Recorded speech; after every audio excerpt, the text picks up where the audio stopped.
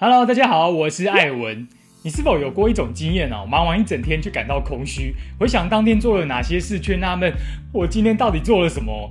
觉得每天有开不完的会，有做不完的报告，感觉时间总是不够。又或者下班回家后啊，只想躺在沙发或床上。突然间哦，你想起那本还没看完的书，还没上完的课程，还没听的 Podcast，但就是没有动力去做。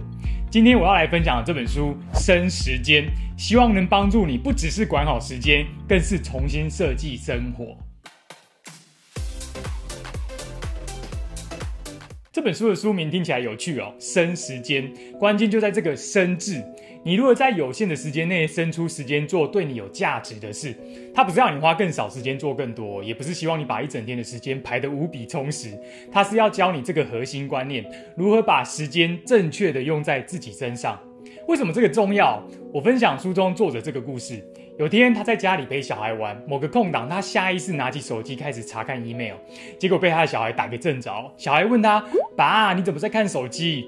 作者当下其实并非感到内疚，因为他有把工作跟家庭照顾得很好。小孩那句话让他恍然大悟的是，他原来一直误解生产力的意思。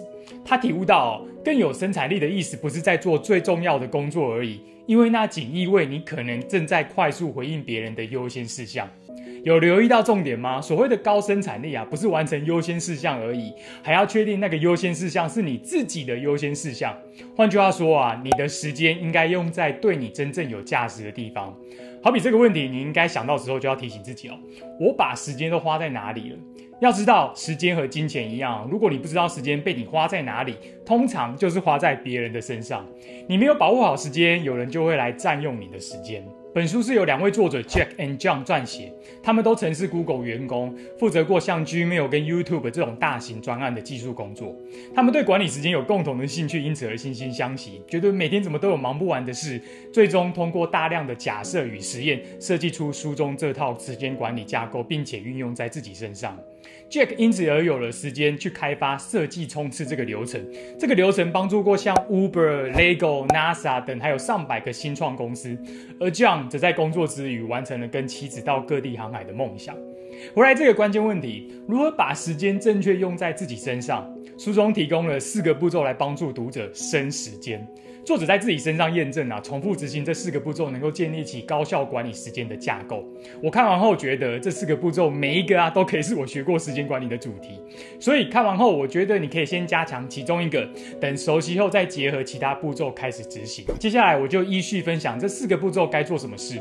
我在解释每个步骤的开头，都会先重点说明，并且附带一句你需要做到的事。看的时候可以再多留意哦。生时间的第一步是决定你要生出时间做什么，防止别人偷走你的时间。作者称之为 highlight。你需要做到的是，每一天都从选择一个焦点开始。书中提到，人的时间会被偷走，主要原因是没有设定一天的焦点，所以你不知道重要的事是什么。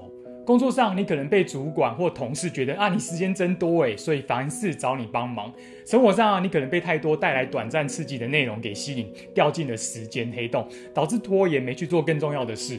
为了夺回自己的时间，你必须在一天的工作开始前选择一个焦点事项，就像看书会用荧光笔画线，或像现在字幕加上 highlight 一样，引导自己要把注意力投入的地方。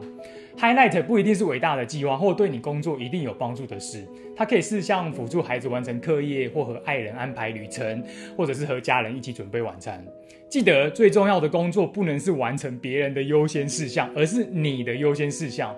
至于一件事要符合 Highlight 的条件，可以用这三个标准来检视：这件事有急迫性，或是它能够带给你满足感，或是它能够产生乐趣。一件事越符合这三个标准，就越是你应该要选择去做的事。以我自己为例哦，大部分时间我每天的 highlight 都是写作，所以我通常会把整个上午时间都空出来专心写作。不管有再多的 email 没有回，或者是像其他邀约排的再满，我都会尽可能把写作视为当天最重要要完成的事情，那个就是我的焦点。强调一下，这个最重要的事不一定是你非得最先做的事。以我以前当工程师的经验啊，难免有时候早上要先参加会议，或是做其他的事情。但你必须要有意识提醒自己，当天最重要的事情是什么。等到有空档之后，就开始做它。或者当别人来跟你抢时间的时候啊，你会更知道要如何回绝。这边就说到一个需要长期练习的技巧，学会说不，而且是对大部分的事情说不哦。你一定要记得，highlight 才是你一天当中最重要的事。如果主管或同事要求你做事时，你要先想到这些事是否会影响到你做 highlight 的事情。如果会，那就尝试大胆说不试看看。等等哦，我知道有些人心里会纳闷，主管呢哪有那么好简单就拒绝了？我分享自己以前在工作的经验哦，如果主管强行要求你去做啊，就把你的问题丢给主管去烦恼，问他你现在手上还有另一件事很重要，那要先做哪一个？懂吗？你的工作不是帮主管分配人力资源，如果遇到资源分配的问题，你要把工作丢回去给他处理。至于在其他情况下，就试着用沟通的方式回绝。现今社会啊，大多数的人都因为害怕失去机会而不敢得罪人，不敢说不。其实还是要知道，真正最重要的人是你自己。尝试说不是为了保护好自己的时间。每一天都从焦点事情开始后，接下来就进到第二步，镭射。从繁忙的日子中为那个焦点事情生出时间，不止做完，而且还做好。你需要做到的是调整使用会让你分心的科技产品时间，从时间黑洞里爬出来，集中专注力用在焦点事情上。镭射的特性我们都知道，它穿透力极强，集中能量可以切开很多事情，甚至连钻石都能够切割。所以我们在训练自己专注力时，也一样，精神越是集中，完成焦点事情的成效就越好。那要如何提高专注力，进入镭射的工作模式？作者实验过后，最有效的方法不是强迫自己专心，要反过来，你要避开分心。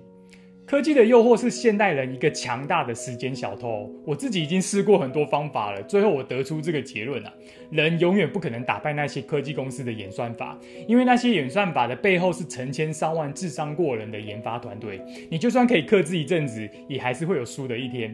唯一有效不会掉进时间黑洞的方法，就是在该专心的时刻断绝跟他们连接。简单来说，无法克制科技的诱惑，不是意志力不够，是因为太容易就可以连接他们。所以，当你需要专心做事情时，你要增加跟那些科技产品网站连接的难度。好比会尽量把手机放在另外一个地方，就算放在工作桌上时，我也会养成习惯反过来放。此外，作者也建议你在工作时可以把社交平台的账号登出，增加你使用时的难度。关于我隔绝社交平台的经验，可以再看我这支三十天不看电视 YouTube 的经验。不过别再误会哦，我不是要你完全不用手机、不上社交平台或不看 YouTube，而是你要控制好使用的时间。这个 YouTube 自己也在宣导啊，像我最近就在训练自己娱乐跟工作用的三 C 分开，笔电就专心工作，娱乐影片就尽量在 iPad Pro 上看。之后也可能进一步用两个手机，一个娱乐用，一个工作用，还不确定有效啦，但就是要不断的实验嘛，不断优化你的生活跟工作的效率。知道怎么不分心后，接下来的步骤三是如何提升能量更专心。作者称这步骤为提振活力。你需要做到的是尽量吃食物而不是食品，注重睡眠品质，还有维持运动。想想看啊，如果你每天都无精打采，没有精神完成工作，也不会有办法克制那些科技产品跟电视的诱惑，是吧？关于如何提升活力，已经是老生常谈了。这边我就直接分享作者对改进饮食跟睡眠品质的方法。至于运动，我就不多提。只要你能够固定运动，每次运动都维持高心跳率，我觉得就很好。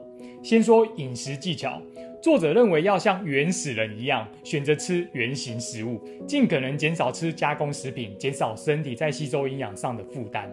再来是睡眠技巧，也要像原始人一样营造睡眠环境。在原始时代啊，没有人工光源，就算在洞穴里面生活，亮度也是很低。所以作者建议你可以在睡前几个小时调暗家里的灯光，营造夜晚的氛围，告诉大脑是该要睡觉的时候了。关于这点啊，我在比尔盖茨也推荐看的《为什么要睡觉》这本书里面有提到，待会可以接着看。接下来进到最后一个步骤，反省，用科学的方法微调你的日子。你需要做到的是做记录，还有追踪成果。我常在频道提到，我们要持续优化工作系统，透过实验找到适合自己的方法。这步骤作者在书中写的比较少，所以我这边就自己的经验提供几个大原则。你要记录你的成效，定期回顾自己完成哪些焦点事情，哪些又没有完成，有哪些时间管理的策略对自己有效，哪些策略又应该要放弃。细节部分，频道里面有好几支影片都是以这个为专门主题，你可以再去找找看，或者是订阅频道，也许过阵子 YouTube 就会透过演算法推荐给你。以上就是今天想要分享的内容。最后，我再跟你分享书中一个有趣又好记的观念。作者要我们小心时间的陨石坑。当陨石撞到地球上的时候，因为引力，一颗陨石可以撞出比自己还大三十倍的陨石空洞。作者用这个比喻提醒我们，一件看似小事情就可以造成你在时间上巨大的坑洞。你可能只是分心看一下手机，分心跟人家聊个天，分心回一封 email，回个讯息等等，一两个小时就不见了。我觉得这个观念好记又有启发，你也可以提醒自己。如果这支影片对你有帮助，就让我按赞、分享，还有订阅频道，也记得在下方留言，或许你的分享也帮助到有需要的人。另外，频道里面还有很多跟学习成长有关的内容，别忘了点进频道看看。还没有订阅的朋友，我的新影片能够再次跟你遇见的机会，也不知道是什么时候了，所以不妨就趁这次订阅吧，一起来学习成长。我是艾文，我们下次影片见喽，拜拜。